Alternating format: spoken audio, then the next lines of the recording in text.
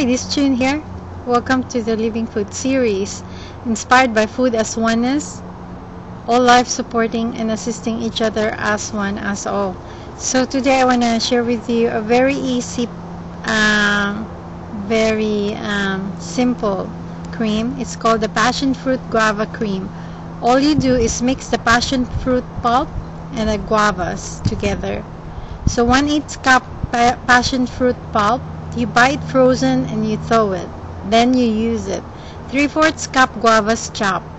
Blend it together and serve serve with bananas. The the the seeds in them when they get crushed re- releases a lot of nutrients. So it's the way to go. And also you can add uh, for a sweeter version, you can add one tablespoon agave or yacon or maple syrup in this recipe uh, to sort of make it more uh, to make it sweeter.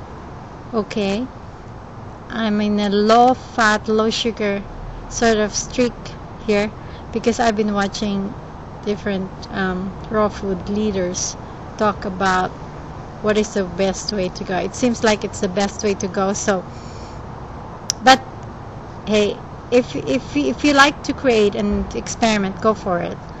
So thank you for watching. Let me um, for I forgot. so this is the cream. It's colored pink with some uh, black seed-like thing there. See that?